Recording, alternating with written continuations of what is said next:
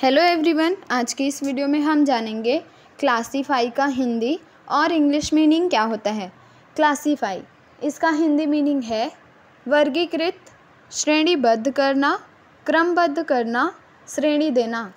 वहीं इसका English meaning है to put somebody something into a group with other people और things of a similar type example से समझते हैं इसे। Example he is difficult to classify यहाँ क्लासीफाई का हिंदी मीनिंग वर्गीकृत है। उदाहरण, उसे वर्गीकृत करना मुश्किल है। इसी के साथ आज के इस वीडियो में बस इतना ही। Thanks for watching my video